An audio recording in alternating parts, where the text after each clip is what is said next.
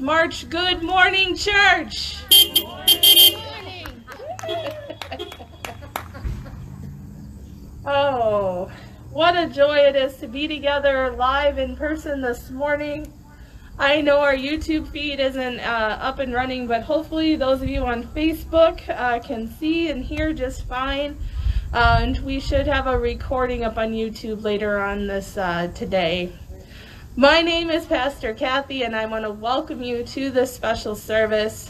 I ask you uh, to care for one another during our time today. Keep your mask on um, as best you can. I know myself, my glasses are fogging up keep your distance, um, keep your six feet apart distance, know who's in your bubble, and stay safe, stay healthy. There's enough sanitizer and things floating around, so if you do just accidentally shake hands with someone, use your sanitizer. Um, but I don't encourage that this morning. During our service today, we're calling this Worship in Motion. We ask that you keep silent no singing. Uh, singing is one of the greatest ways that our virus is shared. So we ask that you worship in motion this morning. When we pray or when we offer our song today, we're going to do it with our hands. So if you're able to stand up when we stand up, join us. If you're able to stretch your arms out, uh, do that along with us. But let your body be an act of worship today.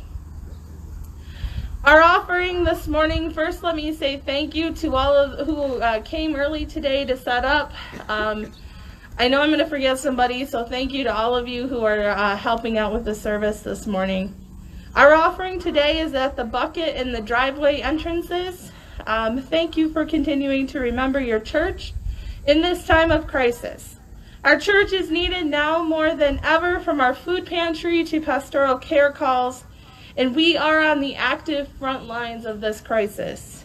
Your generosity, your giving makes a difference. We have hit our fall slump as we expected with our finances, so we will need some creative ways to make up our financial losses by the end of the year. So your generosity is making a difference today. And I mention that because next Sunday we will not, well, today we will not have our virtual coffee hour after this service because I think we're going to need to rest after this. um, but next Sunday, after our recorded service next week, we will have a virtual church town hall over Zoom. You can join us. I'll send out the link on Friday and again on Sunday morning. Um, the church town hall will take place around 1045 next Sunday morning. And we will hear from our finance team about our current needs and current um, and future dreams. We have some goals for next year we want to share with you all.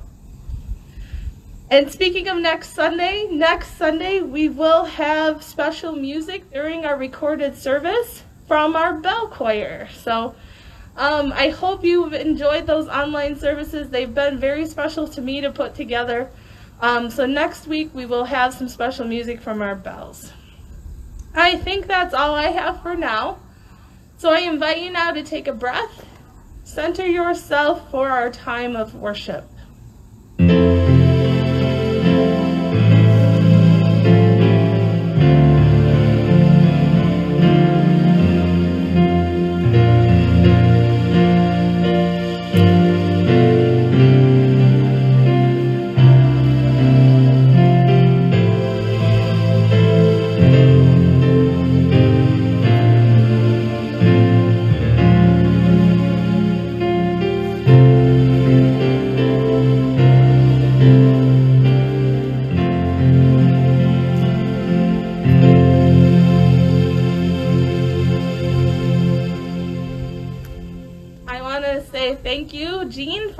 Our liturgist this morning. During our service, our call and responses today will be with our hands. So if you see Jean and I doing something, we invite you to mimic that motion with us. So you, might want to put that coffee down and you can uh, get your arms and get shake it out, shake out the morning bugs and join us with our motions.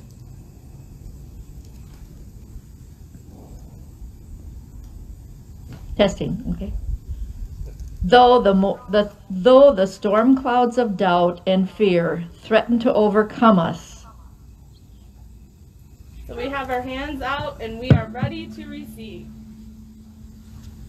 And then watch Jean for this next motion. God leads us into ways of peace. When the darkness of war and the deep pit of anger reach toward us. So, like, we are ready to receive, ready to uh, anticipate. For this one, you're going to have to have your feet on the ground. You ready? God lifts and carries us through the darkness with hope and light.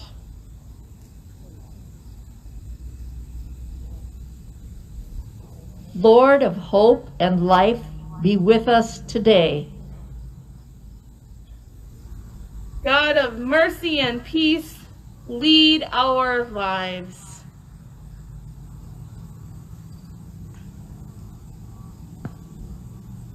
In this moment, gracious God, you have called us away from the world to a place and a time where we can commune with you and with one another. Hallow this communion, we pray.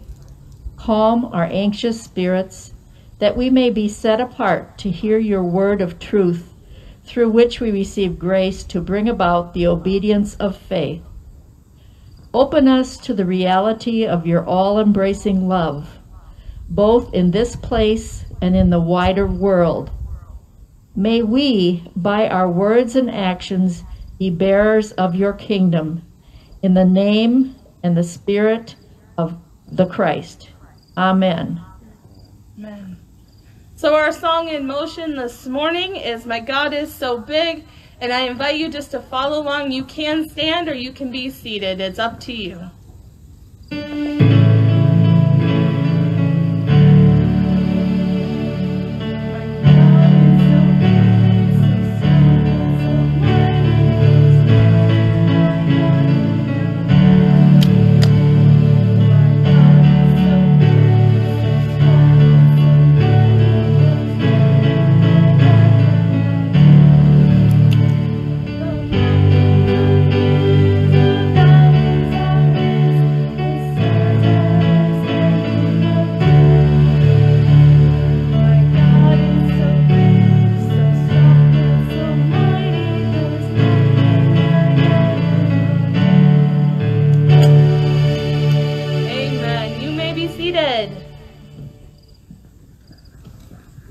This morning, as we enter into our time of prayer, we do want to name prayer requests. Um, I don't have my phone on me, so I can't see if there's been any texted to me.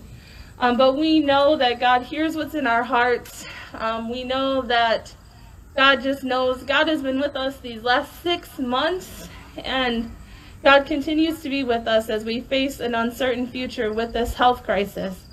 But we know and trust with confidence that God is at work through those doctors and nurses and those researchers trying to find a cure. So we ask God's blessings and prayers upon them. I do want to lift up, uh, we lift in prayer Alice Watson. Um, I visited with Alice last week. She's doing okay. Um, if you get a chance to give her a call, drop her a note. Um, so we want to keep her in prayers. And we continue to pray for those families that are grieving in the, our church life as we anticipate All Saints Day coming up in November. Um, it's tough to think about all the names that are going to be on that list this year. So let's pause for a moment of silent prayer. I will offer the pastoral prayer, and then you can join me, um, if you would, silently in the Lord's Prayer. Let us pray.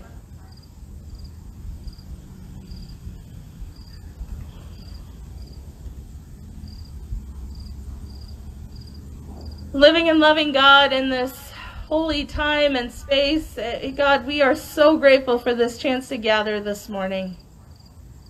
Thank you, God, for those who are watching this on our Facebook feed. God, thank you for those who will see this service later. God, may they be blessed. May we all be blessed by this chance to just be the church as we've known it for many, so many parts of our lives. And God, we ask that you just hear our prayers this morning. You know what's in our hearts. God, you know who's on our minds.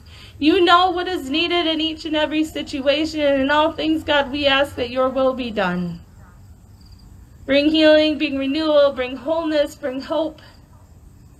And help us, God, to be the best church here in your kingdom, well, as your kingdom come, that we can be.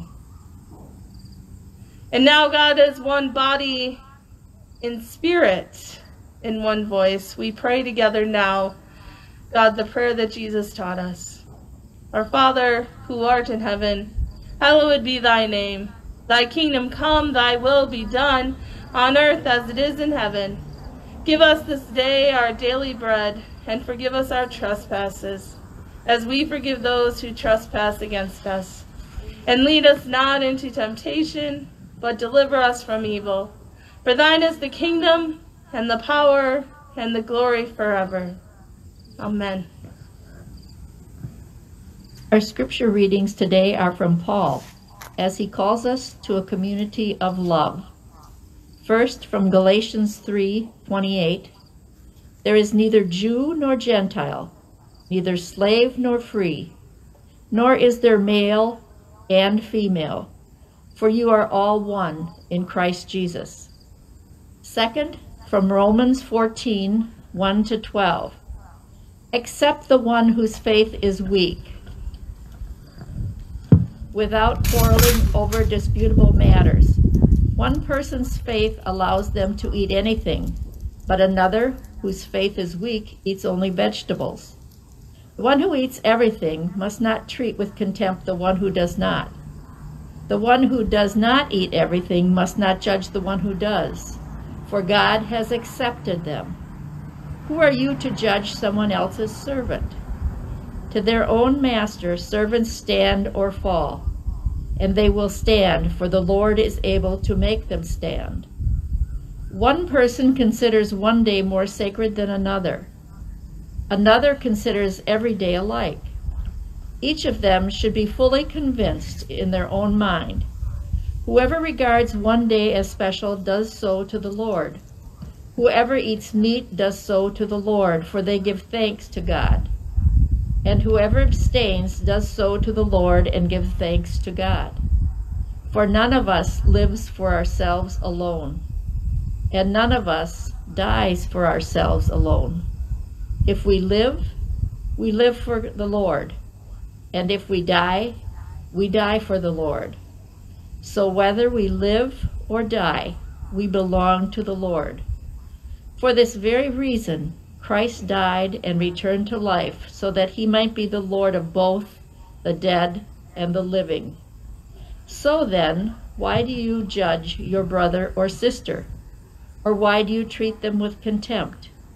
For we all for we will all stand before God's judgment seat. It is written, As surely as I live, says the Lord, every knee will bow before me, every tongue will acknowledge God. So then, each of us will give an account of ourselves to God. Thanks be to God for these words. I invite us now to prepare for a message for the young at heart. Jean, keep your microphone on for a minute. Got it. I need, uh, I have a question for you. Okay. What's your favorite breakfast? Oh, Greek yogurt with nuts and maple syrup and frozen blueberries and bananas. Oh my goodness. you know what my favorite breakfast is? Cheerios. No. Pretty close. Oh. Pretty close. Lucky Charms. Oh, there you go. there you go. You know, just because, well, Greek yogurt for breakfast isn't quite my favorite. It doesn't mean that her breakfast is any less good. And I'm sure those of you watching today um, have a different breakfast than I do. I say Lucky Charms, but really it's any cereal that I like, um, any breakfast cereal. And you know, friends, we do eat differently, and guess what? That's okay. I'm sure you've seen that at Food Pantry too. A number of folks that eat differently and choose what they'd like. Well, friends, we also dress differently and we have different abilities. We even celebrate different holidays. And we live, some of us, in different ways. Some of these lead to judgmental name calling. I don't like her because she likes Greek yogurt. I'm not going to call her a name. well, the Bible tells us, though, that we should not judge people by these sorts of things. I love in our Bible passage Romans 14 1. Accept those whose faith is weak, without quarreling over disputable matters. The author tells us that we have to accept each other and become a community together. We don't need to judge each other by our cereals, by our clothes or our skin color. Rather, we need to, as well as Jesus teaches us, to love. So let's be glad that we can love each other. But I think for our for our young at heart message, let's be glad we can eat anything we want for breakfast, right? let's pray. God of creation, while we all have your thumbprint on our hearts, we, and with our eyes we, we see our differences. It's hard to see the things that make us one in you through Jesus. Help us to look beyond the breakfast choices and, and whatever other choices we find and the lifestyle choices to, to seeing each other as siblings in faith. Open our eyes to see you. Amen. I want to thank Tom Olson for making our plexiglass thing here. It's allowing me to take my mask off comfortably um, to keep us all safe uh, as we share the message this morning. Yesterday was Larry Stenner's memorial uh, visitation. Those of you who attended 8 o'clock service knew Sandy and Larry real well. Um, I don't know if you remember or not, or if you knew or not, Sandy and Larry were our communion stewards um, every time we had communion. They're the ones that brought the yummy Fosdal's bread for us. And I had the opportunity yesterday to lead the family in a brief service honoring God while remembering Larry as a dad, as a grandpa, and as a coach. And it sure was a special time to be with them and to see their family come together for this holy time. Towards the end of the service, I noticed the kids, they were all a little squirrely. There was probably a half dozen of them sitting running around there. And so I offered just impromptu to do a children's sermon right before the benediction. And this impromptu children's sermon, I'm going to tell you, it was a blessing to me as it was, I hope, to them. We talked about the word love. If you remember Sandy and Larry and their kids, love, love comes to mind. We shared words from 1 Corinthians, the love chapter, and I ended by asking the kids, how much do you think your grandpa loved you? This much? This much or this much. So picture six little kids, probably under the age of five or, or six or under. All of them go like this, and somebody did get smacked in the back of the head, and but all of them did this. And I believe this morning, friends, love is a message that we all need to hear and hold on to today and every day. We think of the love of Jesus when we close our eyes and we imagine the cross. We think of the love of God when the actions of our ancestors necessitated the coming of our Savior. We think of the unconditional love of God that remains with us as we consider the movement of the Holy Spirit. So, as it is worship in motion this morning, friends, let me ask you how much do you think God loves you? Let's see your hands. And everybody's doing that. That is wonderful. And we're all adults here. We're not smacking anybody upside the head yet. How about those that you disagree with? You don't have to show me. Keep this in mind, though. How about protesters, the military, people on the front lines, politicians, the police, or the Black Lives Matter movement? How can this be so? How can the love of God reach us all? It's easy for me to stand up here and tell you this is a truth this morning. But do we really believe it? I think the answer is found in the understanding that Christ's death changed everything. The answer to this possibility is in the playing field of our lives that it was leveled so that all would have an equal chance to thrive. That said, I know sin continues to push its way in, and not only do we build up walls of division around us, but we build up hills that we have to climb. A, key to overcoming this, to overcoming those bar- those barriers, is to living a life of love, a rule of love. There's an English proverb that says, "Faults are thick where love is thin. God demonstrates the opposite. Faults are thin where love is thick. Keep that in mind for a moment. Friends, if nothing else this morning, seeing you all has shown that love is thick here and with our church. Love is thick in our homes and in our family lives. Love is thick because we make it a priority in the situations that we understand and we have some control over. I want us to consider this morning that love can be and should be thick all the time in the kingdom of God. Prior to our Romans passage today, we read of Paul in Corinth and there was a problem there over eating some meat that was sacrificed to idols. And Paul, he didn't object to this exactly, but he himself wouldn't participate in the pagan rituals. He goes so far to say that he considers it even wrong to try to encourage others to violate their own sense of right and wrong. And this experience gives him some ideas on how to be a community, be a community of love.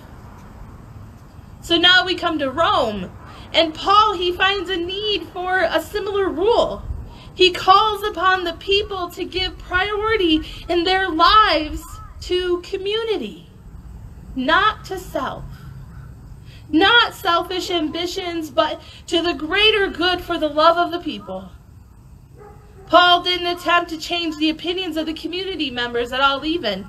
He offered a perspective that shifted the focus.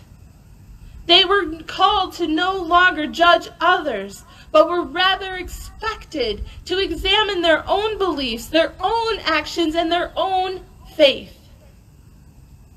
Why? Why this call to community rather than to self? Friends, this is exactly what Jesus did. This is what Jesus expected. When Jesus paid the price on the cross for our behalf, it wasn't so that one race could be better than another. His sacrifice wasn't for the elite or the poor. His sacrifice, his gift of love on the cross, it was a call for us all to adopt the mindset that we are on equal ground as followers of Jesus Christ. And as believers in the Holy Spirit, we need to say that in our community, in our worldview, all are on equal ground because of grace. Paul made this very clear in our Galatians reading. Those who are baptized in Christ now belong to him. The old self is gone, and by putting on the character of Jesus, we further seal our common ground as God's good creation. And the character of Jesus is the acts of love in community. I believe this call to community is a call to love. It's a call to lead with the example of Jesus Christ, to put the needs of our community first. It is a call to level the playing field. And I can imagine uh, with Larry, it's a, he was a cheerleader. It was it's a call to cheer one another on and help one another as we finish this race called life. Friends, this is about believing when we say these say these words. God loves you this much, and so do I. Let's pray. Awesome God of grace and power, you are the great equalizer. We know in our core that we are all your creation made for good. As we've done our kingdom building work, God, we messed up big time. We've given into sin of selfishness, narrow mindedness. We have given into the sin of judging, something that we were never created to do. Thank you, God, for not leaving us in this place. Thank you, God, for moving in our hearts and opening our eyes and opening our whole self as we live by the character of Jesus. Amen. So, the ministry moment this morning, this is our time to put this into practice. Here comes your so what, your homework for the week. Does anybody have anyone in their lives that they disagree with? yeah, yeah, even the dogs are chirping in. I can hear them across the way. or how about someone that you don't have a lot in common with in your life? Yeah, I want you to give this leveling the playing field a try this week. See if you can find a common thread with that person that unites us all as humanity. Now, I know there is a vulnerability in doing this and putting yourself out there. But if the receiver also shows vulnerability, can you imagine the fruits that are you're going to see from this? Brene Brown, one of my favorite uh, writers, she says it's easy to see talking about businesses. It's easy to see managers as the holders of power in a performance evaluation. But managers can level the playing field and, and put yourself in this situation. Managers can level the playing field by opening themselves up for feedback, being vulnerable. Asking a question like, How can I support you better? Or what is, what is an area in which I can improve? Those questions demonstrate to the employee or the person you're talking to that no one is perfect or has all the answers and you're in it together. You can do this with someone of a different race, different political point of view, or even someone who has different values than you do. When you share with them, I ask you, though, that you come from a place of love in your heart.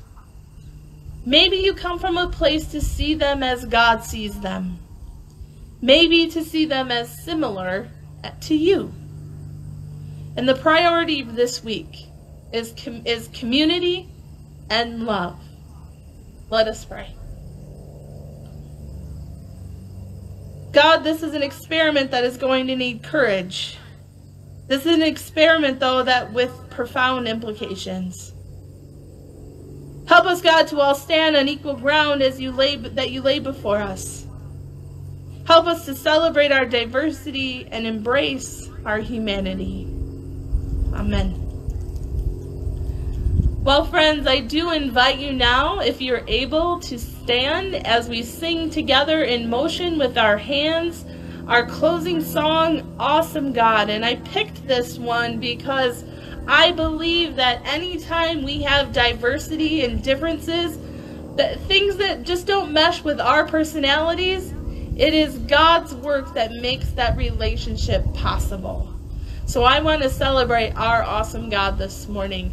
Um, we'll do this, maybe we could do this twice with music and then we'll do it once with no music, but just do I'll try my best to lead you in the motions. I can invite you to stand if you're able.